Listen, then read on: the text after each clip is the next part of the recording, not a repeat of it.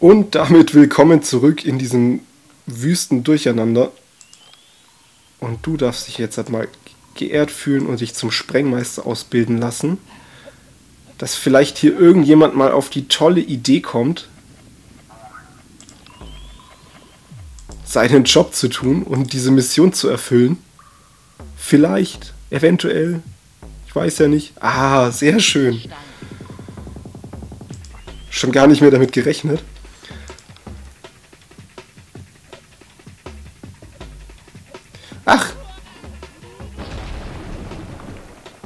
Und du willst jetzt auch Sprengmeister werden? Ja, dann zeigt mal, was ihr könnt.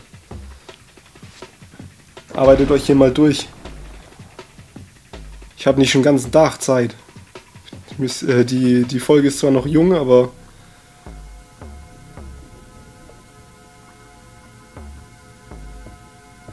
Oh. Der ist ja schon, der ist ja schon klinisch tot. Naja, schauen wir mal, wie er sich selbst in die Luft jagt. Wie vermutet.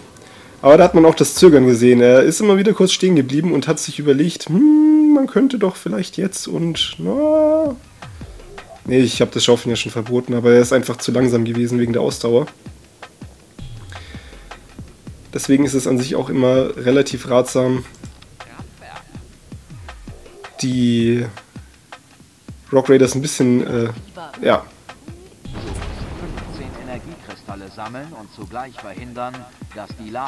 Gut, das sollten wir jetzt dann damit geschafft haben, weil die Energiekristalle hatten wir vorhin auch schon. Ja. Aber da hat man wieder sehr gut gesehen, in welchem moralischen Zwiespalt die Rock Raiders sich manchmal befinden mit ihren Aufgaben. Aber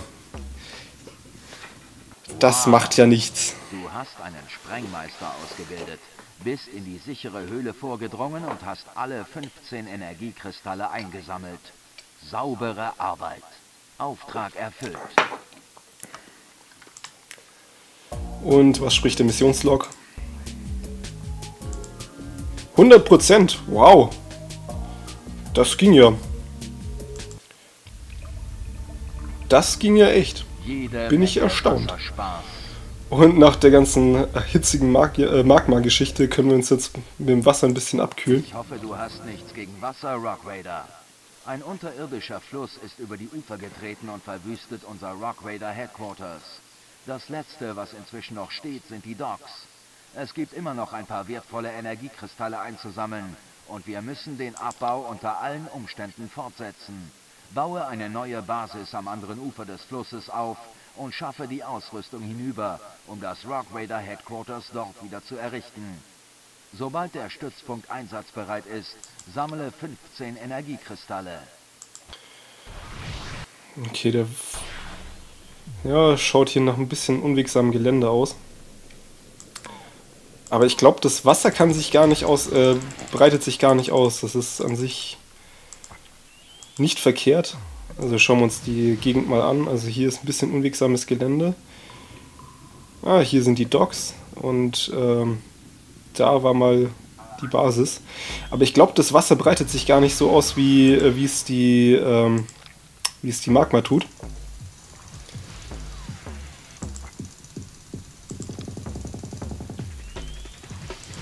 Was doch auch schon mal eine nette Perspektive ist.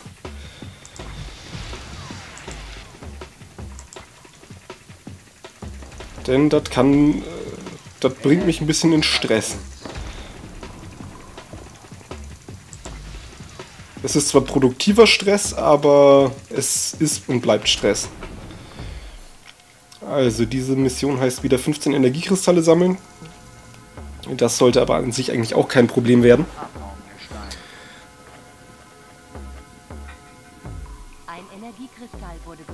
Finde ich auch schön, wie der wie der Sound vom Bohren einfach mal nicht so lange anhält, um einen Flöz wegzubohren. Deswegen bohren sie dann einfach ohne Geräusch weiter. Wenn ich jetzt halt in dem Menü aus dem Menü rausgehe, dann ist der Ton wieder da. Der hört einfach irgendwann auf. Aber das sind halt diese voreingespeicherten Sounds und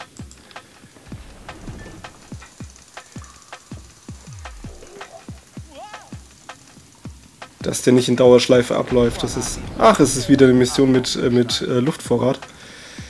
Ähm, wir haben schon um eine Stufe erhöht. Das heißt, wir bräuchten mal sowas wie eine Teleport-Plattform. Tempo geht gleich wieder mal ein bisschen rauf. Einfach nur, weil wir es können. Dass ich noch mehr unter Stress gerate. Nee, aber es ist, äh, es ist echt, also wenn man, wenn man halt gemütlichere Sachen, äh, gemütlichere Strategiespiele gewohnt ist, äh, und so, bei dem man äh, nicht so in unmittelbaren Zeitstress äh, ist, also bei dem halt der ganze Bau und alles nochmal ein bisschen dauert, das äh, kann man, kann man da doch dann ganz schön ins Schwitzen kommen, wenn man dann wieder damit konfrontiert wird. Und gerade wenn die anderen auch nochmal ein bisschen routinierter in der Geschichte sind, dann schaut man ein bisschen alt aus. Also am Anfang hat es noch ganz gut funktioniert, aber nachdem sich die anderen ein bisschen eingespielt haben, das irgendwo ganz weit abgeschlagen. Also da. Aber mir fehlt da momentan eigentlich auch ehrlich gesagt so ein bisschen die Motivation, mich da wieder reinzuarbeiten, um zu sagen, ja, ähm, also Lust, also Spaß, äh, Spaß macht es auf jeden Fall. Also das, das muss man schon sagen. Aber oh,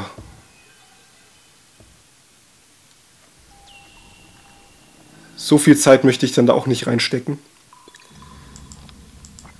Als dass ich da hier dann wieder äh, irgendwelche Meisterschaften mitspielen könnte. Das haben wir schon mitbekommen. Aber danke für die Information. Uh, noch eine neue Höhle. Dann könnten wir da doch mal schön unser Kraftwerk irgendwo hinstellen. Ich glaube, wenn ich hier eine Stromverbindung baue, und ach, schön, es gibt hier auch wieder Erdrutsche. Hm. Ich bin bei dem Geräusch von Sprengungen erwarte ich schon immer gleich, dass ich das äh, Geräusch von Teleportern direkt hinterher höre.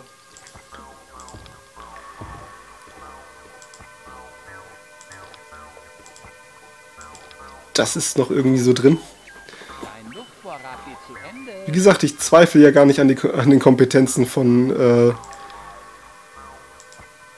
von den Rock Raiders, aber das Prioritätensystem von denen sorgt schon mal für nette Erheiterungen. Aber das Thema latsche ich ja auch schon seit einer gewissen Weile breit.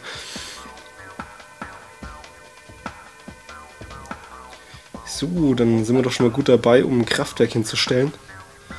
Die Rohstoffe haben wir auch alle da. Ja, das meine ich. Genau das meine ich. Soll ich jetzt wegrennen? Soll ich jetzt schaufeln? Soll ich jetzt wegrennen? Ah, ich bleib einfach stehen und warte, bis mir die Entscheidung irgendjemand abnimmt und das dauert im Normalfall nicht sehr lange. Ja, ich weiß, dass der Luftvorrat langsam zu Ende geht. Aber das ist nicht schlimm, das wird sich bald ändern. Ja, dann kommen wir vielleicht die Mission dazu, ein paar Fahrzeuge zu bauen oder zumindest ein Transporter, der ganz praktisch ist, um Rohstoffe voranzubringen. So. Aufwerten und dann stellen wir hier doch gleich mal, wie als wenn es dafür gemacht wäre, eine Versorgungsstation hin.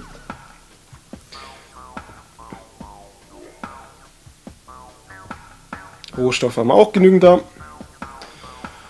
Und also der Zeitdruck, äh, Zeitdruck, genau. Der Zeitdruck am Anfang ist eine schöne, schöne Geschichte, aber es ist jetzt halt auch nicht unmöglich.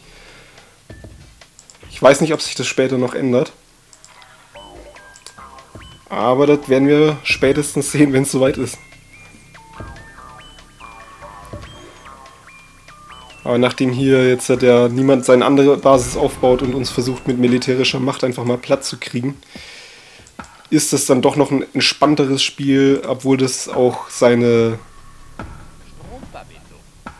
Ja, man, man, man, muss, man muss schon ein bisschen Tempo am Tag legen, so ist es auch wieder nicht. So. Jetzt brauche ich hier einfach mal einen kleinen Transporter. Einfach nur, weil ich das Ding so gern mag. Dann kann hier gleich mal jemand einsteigen. Und dann machen wir hier weg, was geht.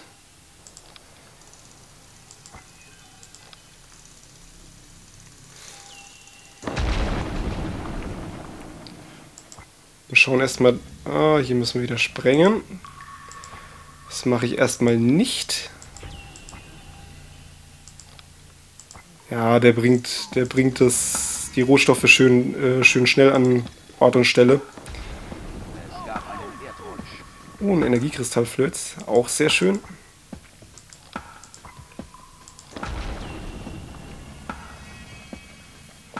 Ich glaube, der kann gar äh, der kann keine äh, Erdrutsche verursachen. Der Energiekristallflöz.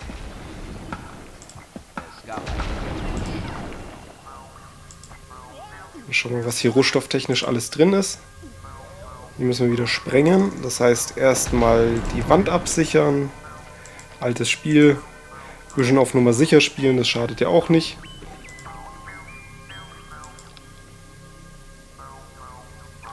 Und der kann, glaube ich, zwei oder drei, drei, drei Erzklumpen kann er gleichzeitig, also drei Rohstoffe, sei es Energiekristall, sei es Erzklumpen, kann er gleichzeitig transportieren. Und man kann ihn, glaube ich, in der Aufrüstungswerkstatt auch noch verbessern. Das können wir doch einfach mal rausfinden.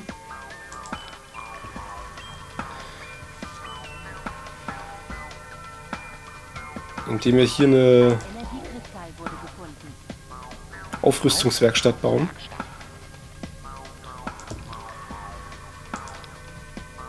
Oh, wir haben keine Energiekristalle mehr. Aber das sollte sich gleich ändern. Wir haben ja einen Energiekristallflöz.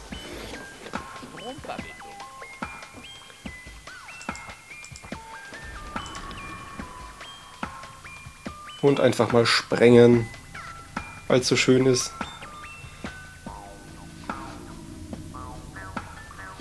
Sprengen kann äh, also äh, ein kleiner Transporter kann leider keine, kein Dynamit transportieren.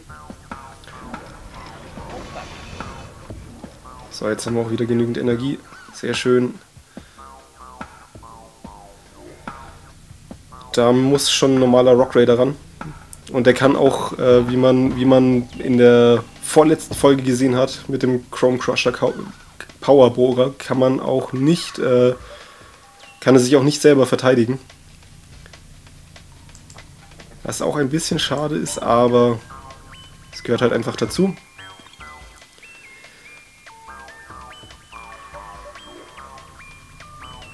Und alles da. Ah, das ist, glaube ich, ein äh, Problem, was äh, ab und zu mal entsteht, wenn, wir ein, äh, wenn man einen kleinen Transporter zum Bau verwendet. Dass der irgendwas dahin bringt, irgendwas zu viel dahin bringt. Ah, jetzt. Und wenn zu viel, wenn zu viel dasteht, dann dann kann das Gebäude auch nicht gebaut werden. Und wir verbessern jetzt einfach mal deine Geschwindigkeit.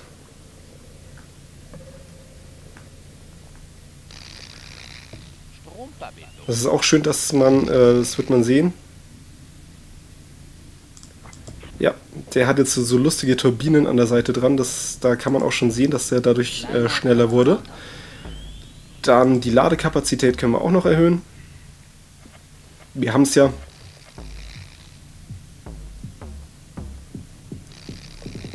Kleiner Transporter. Jetzt hat er eine zweite Ladefläche und weil wir das Geld auch haben, das geht, wird alles über Erz gezahlt, noch ein Geologieaufsatz. Und kommen wir da rüber? Bauen wir uns einfach mal durch. Jetzt haben wir einen kleinen Supertransporter. Und sprengen wollen sie schon wieder nicht. Ich mache irgendwas verkehrt.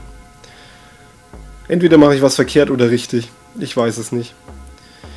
Ach, hier kommen wir gar nicht mehr weiter. Wir müssen rüber. Okay, dann... Wir könnten jetzt halt entweder einen Dock bauen. Ja, bauen wir einen Dock. Bauen wir einen Dock. Ich habe jetzt, ich jetzt Lust darauf, einen Dock zu bauen. Auch wenn wir unter Umständen... Na, eigentlich wäre es sinnvoller, einen... Äh, bei den begrenzten... Ach, bei den begrenzten Energiekristallen äh, wäre es eigentlich sinnvoller, einen ähm, Tunnel Scout zu bauen, weil der auch übers Wasser kommt. Und da braucht man, glaube ich, eine Versorgungsstation Stufe 1 oder Stufe 2.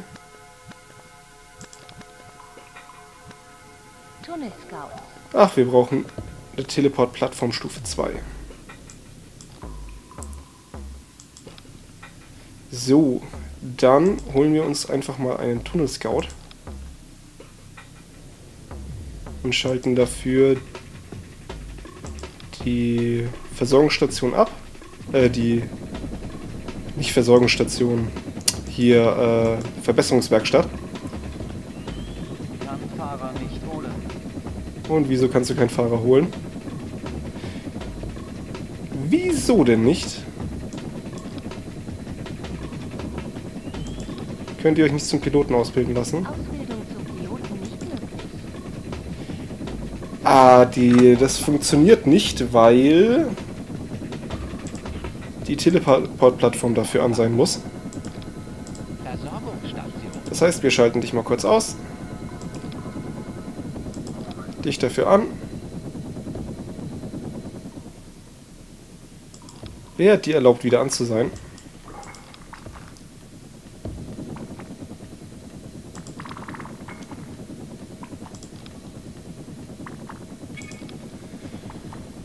Bin jetzt. Willst du mich jetzt verarschen?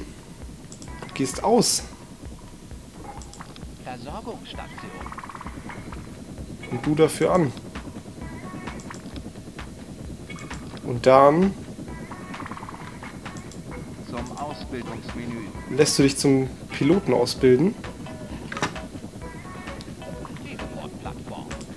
Und dann schalten wir dich wieder aus. Und dich dafür wieder an.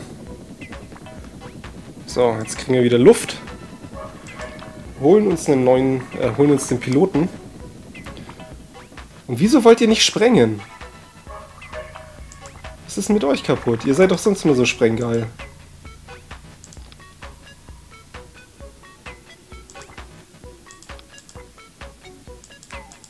Es gibt sonst nichts zu tun. Naja. Dann bewegst du dich mal hier rüber.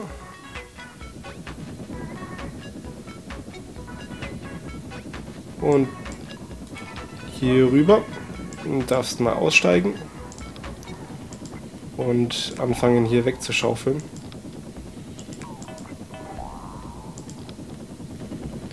Magst du nicht oder kannst du nicht? Magst du nicht.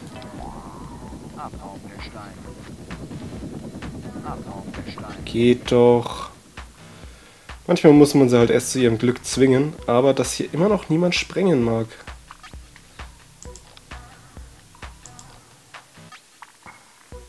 Mag vielleicht jetzt jemand sprengen? Fühlt sich niemand berufen, hier was in die Luft zu jagen? Unglaublich. Muss man sie schon zwingen, dass, dass sie irgendwas sprengen. Und dann schaufelst du hier weg. Und sprengt da jetzt jemand? Natürlich immer noch nicht. Warum denn auch? Sprengen ist doch viel zu über... Ich geb's auf. Ich geb's auf. Dann gehst du mal hier hin und dann stellen wir hier mal locker flockig nichts hin. Ernsthaft? Naja, dann... Wow. Ich habe schon gar nicht mehr damit gerechnet, dass das irgendwann mal passieren wird. Wehe, du schnappst dir jetzt den Erzbrocken. Du hast hier eine Arbeit zu erledigen. Erde. Ein Energiekristall wurde gefunden. Ein Energiekristall wurde gefunden. Erde. trau dich weiter vor. Erde. Eine neue Höhle wurde entdeckt. Huh. Und wie groß ist die Höhle? Ja, leck mich. Das ist ja... Gab einen Erdrutsch. Naja, dann würde ich mal sagen, äh, was wir hier in der Höhle so finden, das werden wir in der nächsten Folge sehen. Ich hoffe, ihr, ihr hattet äh, halbwegs euren Spaß und würde mich freuen, wenn ihr beim nächsten Mal mit dabei sein würdet und sag einfach bis dahin und ciao.